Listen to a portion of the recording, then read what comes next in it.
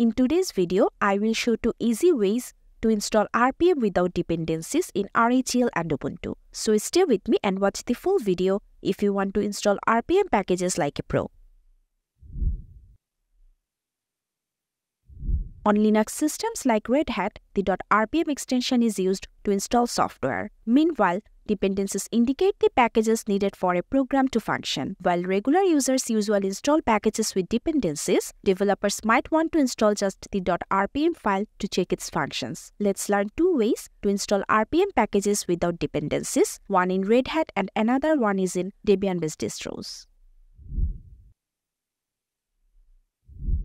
RPM is a low-level tool for direct package installation for Red Hat-based distros like CentOS, Fedora, and RHEL. Also, it can ignore dependencies. So for this example, I will install a VLC vlcplayer.rpm file without dependencies using RPM. Before that, at first you have to download and extract the RPM file of VLC Player from the official website. I have already downloaded and extracted the file. For the download link, check out the description. Now, in the RHEL terminal, type cd downloads to navigate to the downloads folder. Type ls to see the list of contents and here you can see the downloaded zipped file and the RPM files. Now to install VLC, type the command sudo rpm-i and the file name.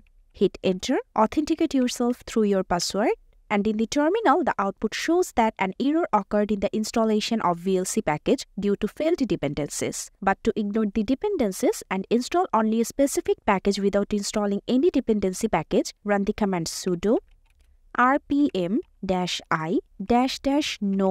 dips, that means no dependencies, then the file name VLC. Now hit enter and this command install the downloaded RPM file of VLC player without installing any dependency. Now, to check whether the installation was successful or not, run the command sudo rpm-qa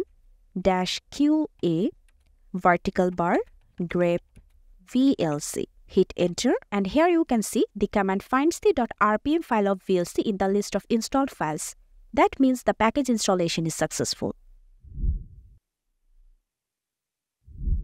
You can also install RPM packages on Debian-based systems like Ubuntu by converting them to Debian files and using package managers like apt and dpkg. For this example, I will install the RPM file of TeamViewer without dependencies on Ubuntu. So again, I have to download and extract the RPM file of TeamViewer from the official website and I have already done this. Now open the Ubuntu terminal and navigate to the downloads folder with the command cd downloads. Now type ls to see the list of contents and you can see the RPM file of TeamViewer is present here. Now I will convert the RPM file to Debian file. For this I will use the alien. Now type the command sudo alien-d and the file name TeamViewer. This command will create a Debian file from the RPM file. Hit enter.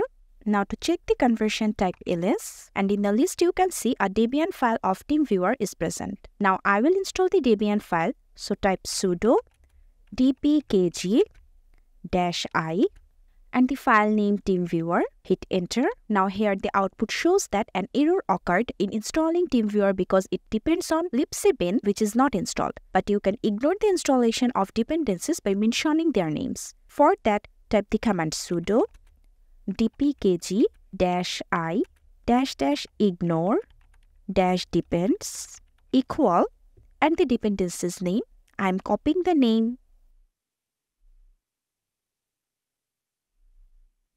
Now here is a note for you. If you find error in more than one dependencies, then you have to write them all here by giving space. And after the dependencies name, type dash dash force dash depends and the file name. I am copying the file name. Now hit enter and the viewer is installed in Ubuntu. To verify, type apt list dash dash installed vertical bar grep TeamViewer. Hit enter and in the terminal, you can see the TeamViewer package installation is successful. That was all for today. You must be cautious when installing packages without their dependencies as it can lead to unexpected issues like unstable system. I recommend you to use isolated environments like virtual machines or containers to test or troubleshoot software in a specific scenario. For more details, go through the article and commands in the description below. And don't forget to subscribe to our channel for more Linux content.